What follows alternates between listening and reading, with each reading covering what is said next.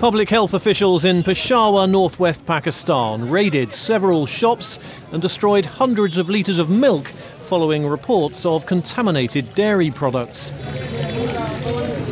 The health workers conducted tests that confirmed the presence of formalin, a diluted version of formaldehyde. The chemical keeps milk from spoiling, but is dangerous to consume. Police arrested a number of store owners and closed down their businesses.